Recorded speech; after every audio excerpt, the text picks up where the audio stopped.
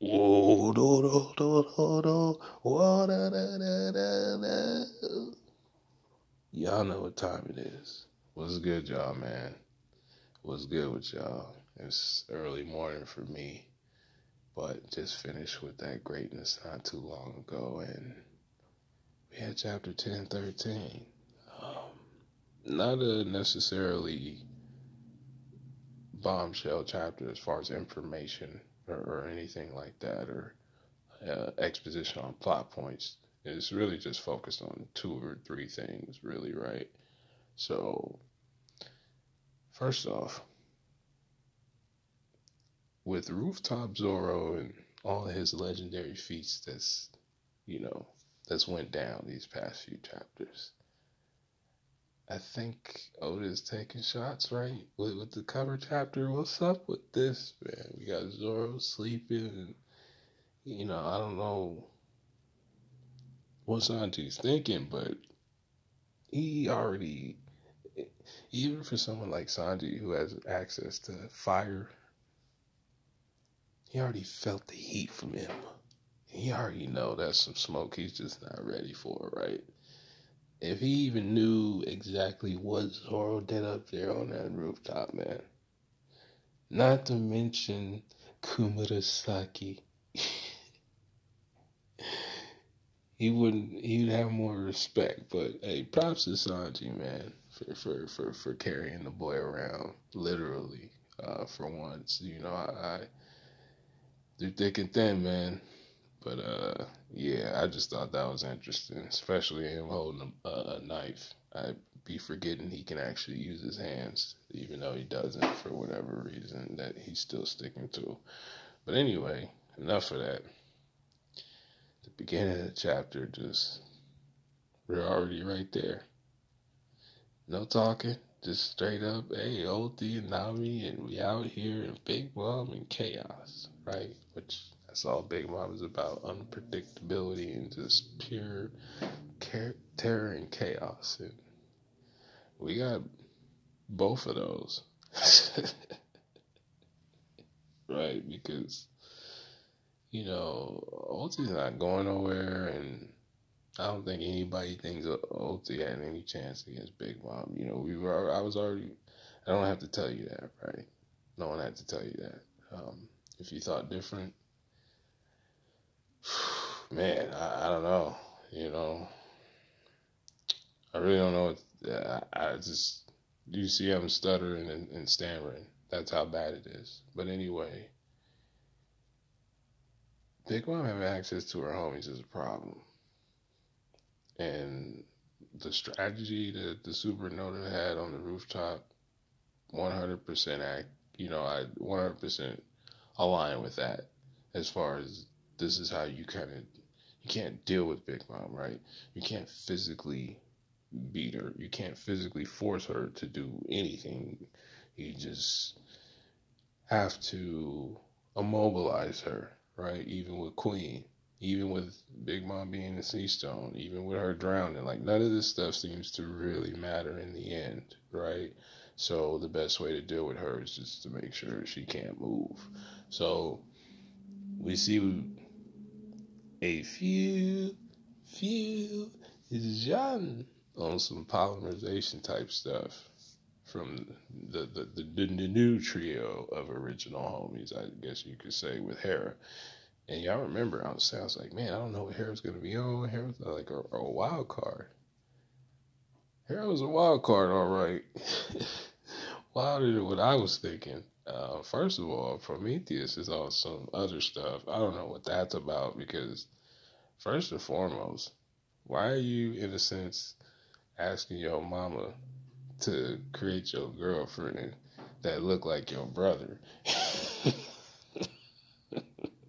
in a sense, right? Like Zeus, Prometheus, and, and Napoleon are, are brothers. That technically that's what they should be, right?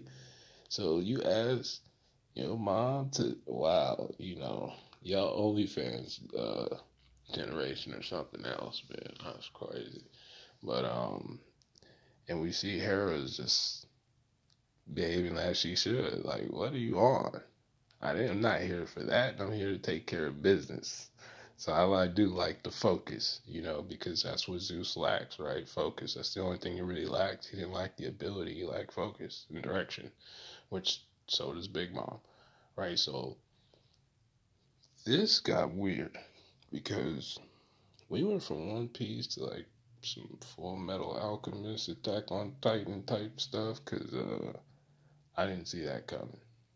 Like I kind of forgot that Big Mom be on that. You know, during her introduction, it was implied she ate a person.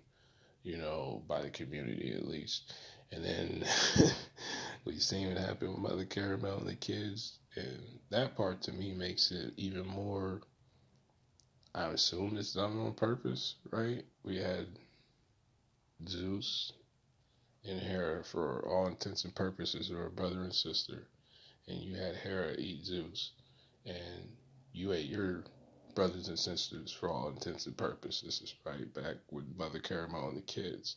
And then remember what I was saying before about last uh, my last video about the difference between does Big Mom remember things during hunger pains and during amnesia, which sounds didn't make any sense, right? But she remembered who Tama was. So, you know, I don't know if Big Mom did this part on purpose, like just being evil and wicked, or was there a meaning behind that, or it could just be a coincidence. I just don't think so because of what Big Mom's experience was. So it could be a really chance that she actually does remember eating the kids and all that other stuff, and she just doesn't care, or I don't know. You know, I'm not really sure. But one thing I do know when Nami fed Zeus the black spheres, gotta watch y'all. The spheres. um, or at least attempted to feed Zeus with them, right? There's a chance they maybe ate a couple and hair explodes, or maybe because we got a fusion between the homies in a sense in this chapter that we could see the good old, you know, um, two personalities in one person, like Goten and Trunks, Vegito type thing with Zeus and Hera. Since uh, and maybe they're brother and a sister in a sense, but if you're going the Greek mythology route, you could go all types of ways with that, right? But I will say, normally, I would assume that Zeus is not dead. However, with the exception of Pell, because that had a little drama behind it. Dramatic deaths in One Piece usually actually are deaths, even if it's not a main character. Like even Yasuie, you know, for the short time that he was in the story, you know, the way that his death was done was pretty dramatic. And I was laughing about this earlier. Like, Zeus got more character development in like two or three pages than, than Chopper has the entire series. From an emotional standpoint, I felt what Zeus was going through. No, I'm joking. I'm not going that route. Like y'all know I will be on that. But I will say that I did appreciate the amount of different emotions that Zeus was going through, even though the main focus was one emotion in particular um, because that looked, it was written like he was a real person, right? Except for that, oh, you know, my last breath, I'm gonna, that kind of thing. Because most people, when they're dying, are not gonna do that. For some people that turn their back on them, just to be remembered. That, that no, that's that's not how real life works. However, though, the, what he was going through mentally and what he was experiencing, I was like, oh, that that was like some real you know, if it wasn't One Piece and you applied to something else, that would be a very um, drawn out scene, right? If that was a movie, it's just that it's One Piece and it's kind of goofy, you know. But that was kind of real. it got kind of dark. Like, oh, eat them, like, oh.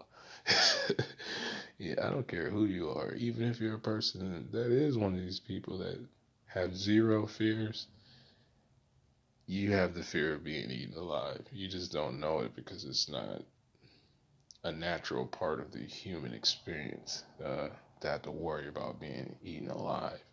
But being eaten alive is just not the way to go out. And I don't know how souls work, but I would imagine having your soul extracted would be a painfully a painful process, and it probably hurts you different than physical pain. You know, there's probably no passing out or nothing. You just, you just, it just hurts.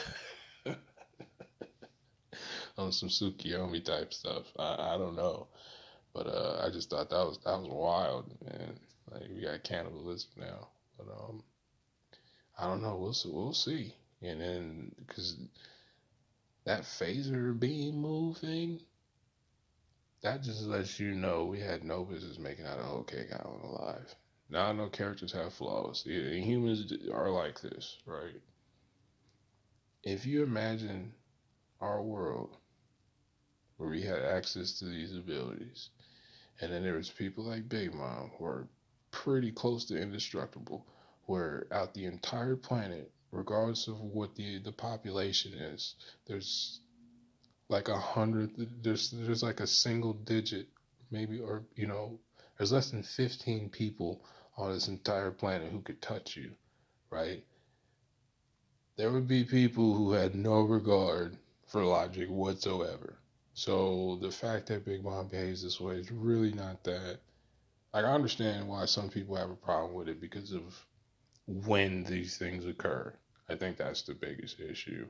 But if Big Mom was focused, like if you take Big Mom's same abilities, same everything, and you gave Big Mom the personality of Blackbeard, the series would probably be over already. You know what I mean? So just be thankful that she never fully matured um, emotionally. She did from an understanding you need to be stronger than people and how the real world works, but clearly Big Mom just never um, emotionally matured because she never had to, right? Even to the point of I can have an entire family of 80 something children. and I can create sentient beings, you know what I mean? I can make friends, I can she can do whatever she wants. So um, it's really not a big deal to me how random she is. It's just, I think it's one of those things where it's like in sports when you see a skilled player, really skilled player, but they're missing that one thing. You're like, how come you can't do that? And you'd probably be like one of the best in the league if you could just do that. That's what Big Mom is. So that's kind of how I take it. but your man, yeah, I already know what time it is now. But your man's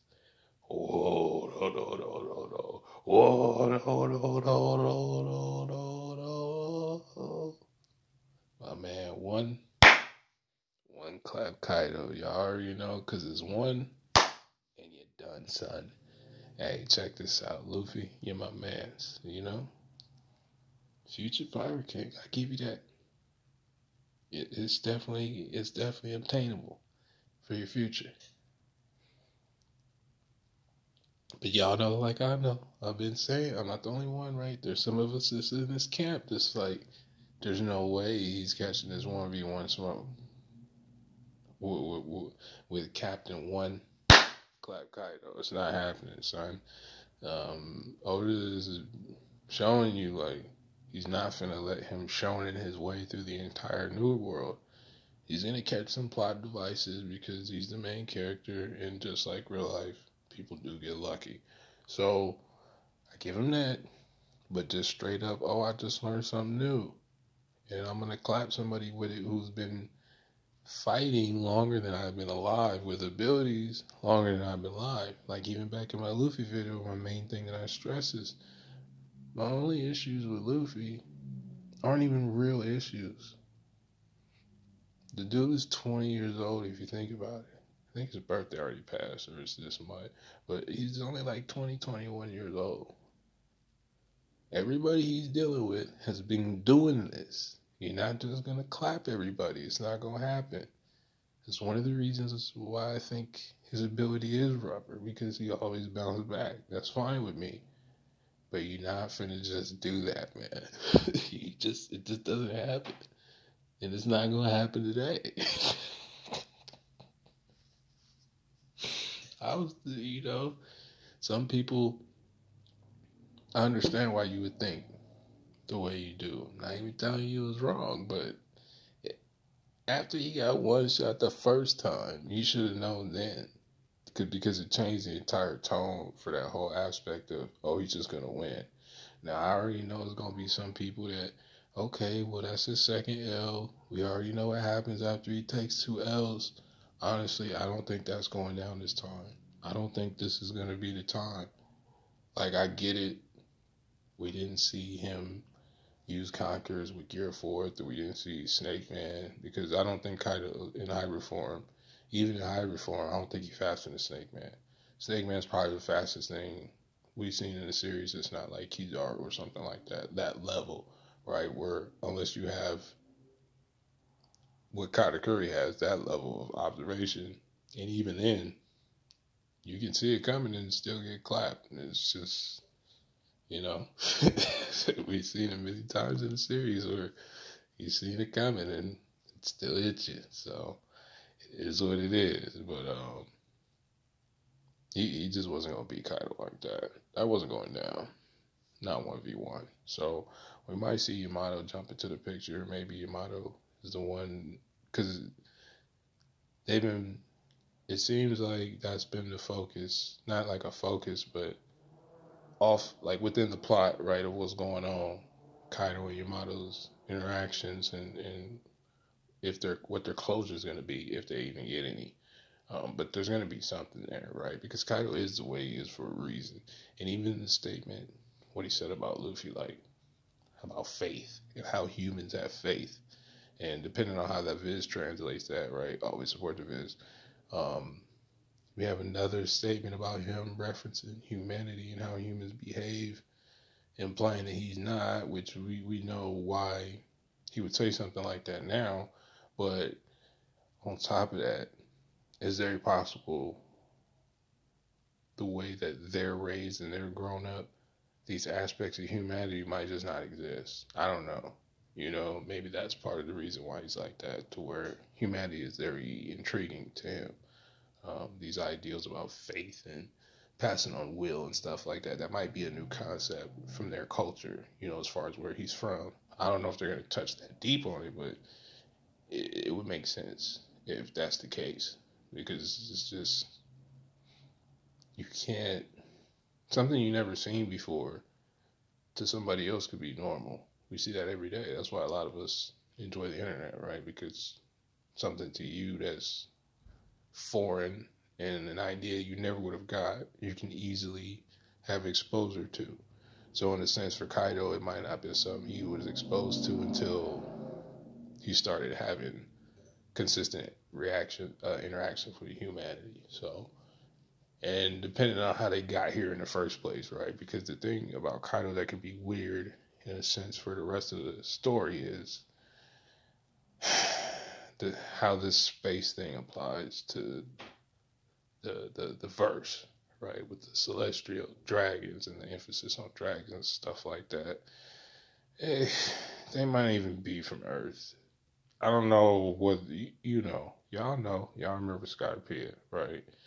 And y'all remember the the Oharans, right? So it, eh, it could be and then the thing with Vegapunk and and then the Time Time Fruit and all that, you know, that extra stuff about the series that even though it's not the main focus, there's things that we're aware of that you have to take into account uh, when you're thinking about certain statements. And is at least in this sense, it's not like a, a Kaguya thing, right? Where we just pop up from space out of nowhere.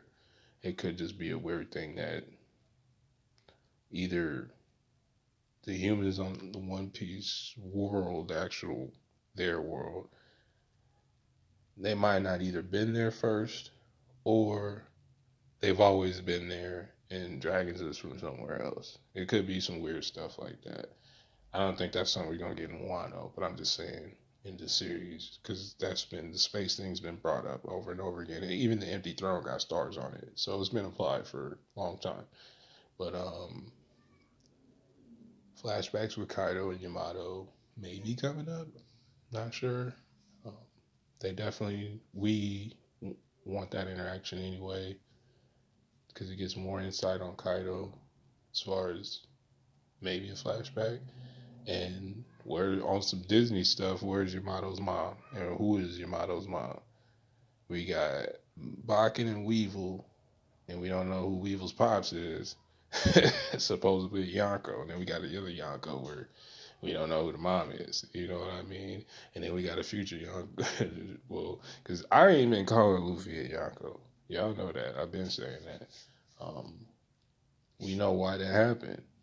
And I even made a joke about him even before he found out about his bounty being a billion. Remember, uh, he thought his bounty went down. And when I was just doing audio and stuff, like even back then, one of the things I talked about was do bounties decrease? Because we seen them get frozen, but can they decrease? So the fact that Luffy thought his bounty went down, it's like, oh, so maybe that is a possibility. Because I was thinking if somebody saw him get one shot by Kaido, his bounty would go down. In a sense where you might have some territory in some of these stories, but we just seen you not be able to hang with an equal. So you can't you know what I'm saying? Because even with Blackbeard, he had a territory and all this other stuff, but he still had to physically beat some people. So, you know, getting clapped by your peers doesn't work too well. But that never obviously transpired. But I just thought it was interesting. Um, Luffy actually thinking that his bounty went down, meaning that it, that something that actually probably does happen in the series. It's just not often enough to, to be worth talking about. But um, yeah, that was crazy.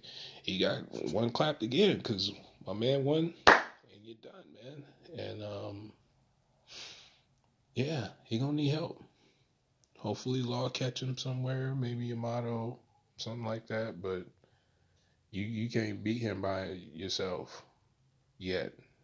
You know, he might have a couple more tricks up his sleeve, but this hybrid form stuff, man, is I think he, he needs everything and he doesn't have awakening yet either. So, and I don't think oh they just want to give him everything, because for all right, and they really kind of still in the beginning of the new world, and even with the projection of the series being what it is, I don't think he wants to give him three, two to three power ups in one arc. That's just that hasn't been done yet. So why would it be done now? You know what I mean? It would feel kind of rushed. Um, him mastering stuff that he's been doing the whole time has like the actual progression, right? He's never just pulled stuff way out of left field yet as far as his ability. So I just don't see that being a thing later on either. So but yeah, that's pretty much it. Oh, and Hawkins and um Hawkins and Killer. Maybe we get that. Maybe we go away from um Big Mom and that to find out because this is the thing with Kid, right? Kid is alright. I just don't think his ability is a good matchup for someone like Big Mom, where physical damage is useless. So unless he has some other ability through electricity or magnetism or whatever his implied abilities could be, doesn't stand a chance. Uh, I will say one thing though. I don't know if it was just because of law or the fact that homies can't use haki. I did find it strange that Zeus was able to be captured in a box. So I don't know if that's implying more on Law's ability more so than Kid. Because it being metal, we seen Zeus eventually did get out, but there was a time where he he just couldn't get out of the box. So I don't know if Kid wants to try something similar to see if it'll work on Big Mom, but I don't think he has the that type of ability because it's not just physical, right? It would probably imply that his haki would have to be really up there um, to do that. Maybe adding like a second level to his armament on a piece of metal type stuff to to capture Big Mom, but or because Smoker does something similar, right, with the sea stone that he has on the edge of the his weapon. It's maybe Kid can because he can manipulate metal without physically touching it, and it's maybe maybe he can make some kind of sea stone thing with metal and sea stone, like metal chains with sea stone, or something to do with sea stone. Because what I, I just, you see how far I gotta go to try to figure out how Kid is even. Because this slamming Big Mom around and punching her, that it looks cool, but come on, man. Remember back in Whole Cake, we watched her eat a rocket, man. Like she ate a rocket. So anything, there's no physical other than sea stone, right? From what we've seen, there's no physical object strong enough in the verse to damage these people. And because of what kids' abilities are, it's not like something with like like a Kuma or a Law, where their abilities are can surpass anything that's physical too. Like Law can't, which that should have been applied. I don't know why people were acting like they were so surprised. Like, oh, uh, I seen that because you know I was out of touch for a couple of weeks. So I went when I was looking at content. I was like, why are people acting like they're surprised? Like, oh, well, yeah, it was confirmed. Well, I couldn't move them because they're haki. Like, that was always. I thought this is where the community trips me out sometimes because we forget about stuff that we was on. Where people had been saying that like since it's the, been the most implied answer about why law doesn't do stuff. That like as soon as we learn what law's abilities were and what haki was, like I don't know. Maybe some people be faking it. I'm not talking about anybody specific. I mean, like uh, people in chats and stuff acting like they're like, oh yeah, like what? This have been implied, at least to me.